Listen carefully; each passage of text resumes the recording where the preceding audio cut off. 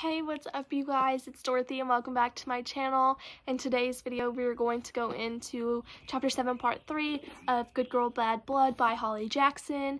Um, I know that it's being stretched out so much, but it's because this chapter is extremely long because it's getting right into the good juicy bits of the beginning of the book. And I know my hair is kind of a mess we're just gonna have to deal with it. Anyways don't forget to give this video a big thumbs up. Comment down below what you want to see in the future. Click that subscribe button and yeah continue to show me some love and support.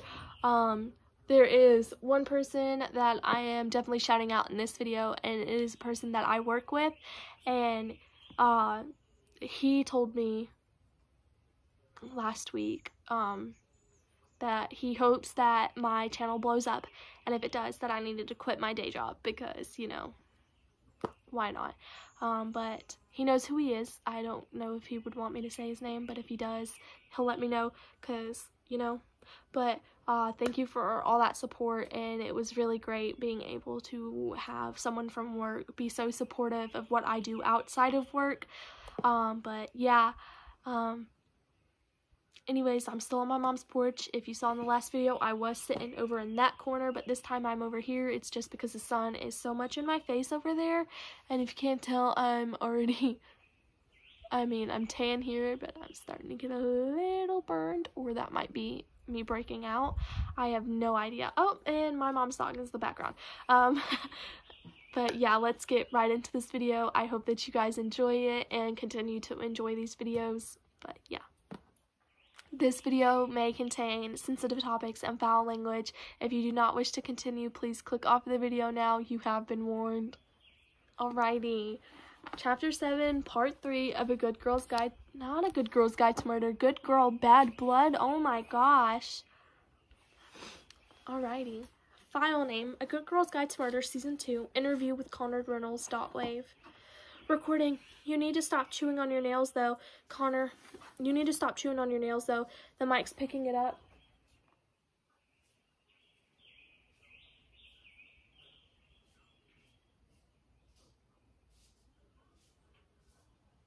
Sorry, there's something walking around in the woods.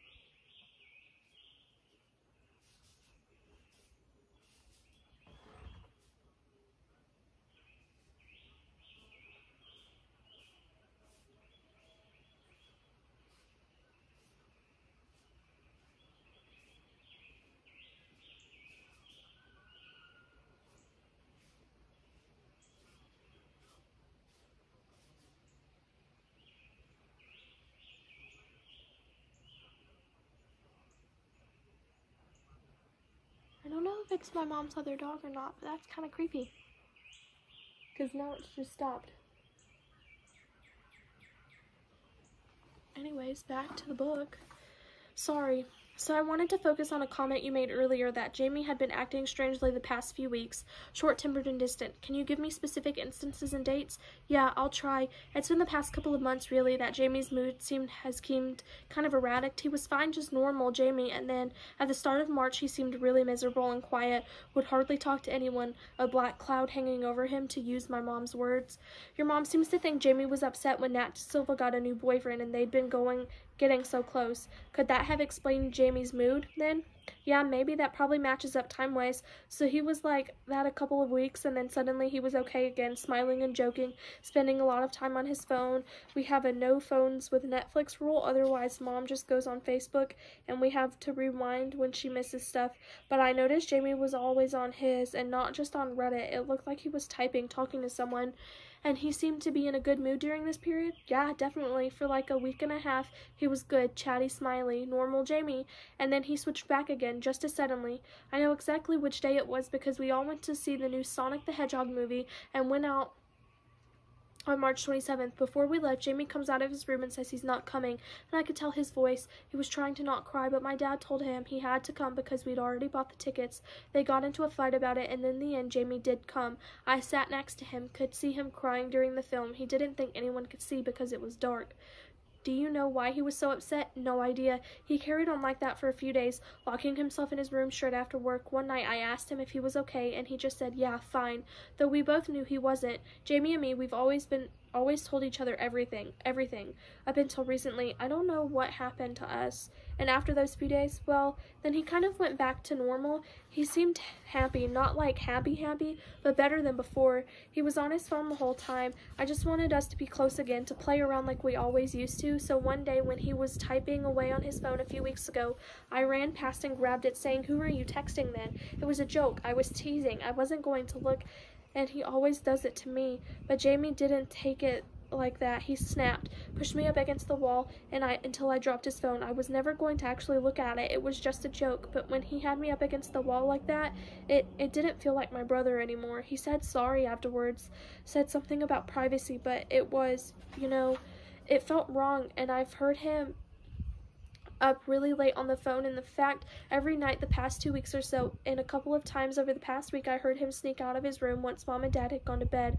I don't know where he went. He did the last week on the night of his birthday. I heard him sneak out before midnight. I waited up listening. He came back around 2 and when I mentioned it the next morning, he said I must have been hearing things and I woke up randomly at 3 a.m. this Monday night. Well, Tuesday morning, I guess. I'm pretty sure it was Jamie sneaking back in that woke me up. I see. But this is not normal, Jamie. You know him, Pip. He's usually so easygoing and calm, but now his mood is suddenly up and down. He keep, he's keeping secrets and sneaking out, getting angry. Something's wrong. I know it. My mom showed you the text, right? She sent it to Jamie around 12:30 last night, and still it's still not delivered. His phone's been off since before then, or broken. Oh, the noises were birds. Anyways, or out of battery. No, it was almost fully charged. I know because when we were in the car, I asked Jamie the time and he showed me his screen. It was at 88% or something. It's a newish phone. It wouldn't die that quickly. And why would he turn it off when he was about out and about? Doesn't make sense. Yes. The text not delivering at the time certainly is significant. What do you think it means? I can't speculate until I know more. It means he's in trouble, doesn't it? You're ju you just don't want to say it. It's that someone's hurt him or taken him. Connor, we don't know anything yet. I'm not ruling anything out, but we can't settle on conclusions without evidence. That's not how this works. Let's move on to yesterday. Can you talk me through your day, your interactions with Jamie? Anything significant? Um, what? Well, there was something. Connor, you won't tell my mom, will you? Remember what you asked of me? When I release this, it will go out to hundreds of thousands of people. Your mom is going to hear it, so whatever it is, you need to tell me, and then you need to tell her. Shit, yeah, it's just, okay. So Jamie and my mom, they got on really well. They always have. I guess you might call him a mama's boy. They just click, but Jamie and dad have a tricky relationship. Jamie said to me before that he thinks dad hates him, that dad's constantly disappointed by him.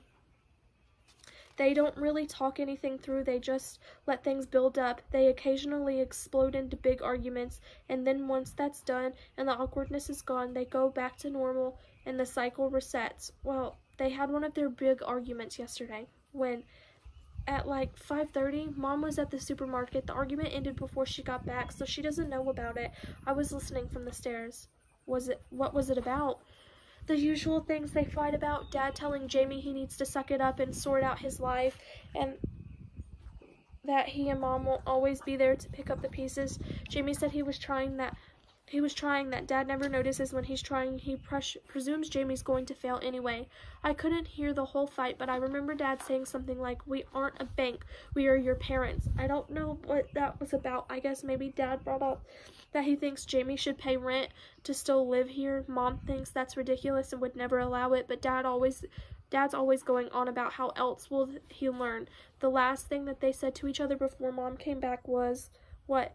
Dad said you're a waste of space, and Jamie said, I know. Is that what everyone was quiet on the drive to the memorial? Your mom picked up on it? Yeah. Oh god, she's gonna be so upset when I tell her. You should tell her tonight after I'm gone. I guess. So back to last night, you arrive at the memorial and you go off to your to find our friends and Jamie goes off to find Nat. But then Jamie comes up to you at one point when Zach and I were talking to my new neighbors. Jamie came to and spoke to you. Yeah? What did he say? He apologized, said sorry about the argument with Dad. He knows I hate when they fight, and he told me that after the memorial, he was going to Nat da Silva's house for a bit, spend the evening with her. I think they thought it was the only right to be in the company of someone else who knew Sal and Andie. He said he'd be back home that night though, and he as he walked off, the last thing he said to me was see you later. I don't think he lied to my face like that if he knew he wasn't coming back. But mom and I called Nat this morning. Nat never saw Jamie after the memorial. She doesn't even know where he is. And where did you go after the memorial? Well, me and Zach didn't want to go to the calamity party with Ant and Lauren because they ignore everyone else anyway. So I went back to Zach's and we, we played Fortnite. So now the world knows that then. And later Zach dropped me off at home. What time? We left Zach's just around after 11:30, so I must have been back around 12. I was tired and went straight to bed, didn't even brush my teeth, and Jamie never came back. I went to bed without a second thought about Jamie. It's so stupid, really, how you take things like this for granted. I was stupid. I thought he'd come home. He was supposed to come home, and now he's and that is the end of chapter 7. I will see you guys in the next video for chapter 8. Bye.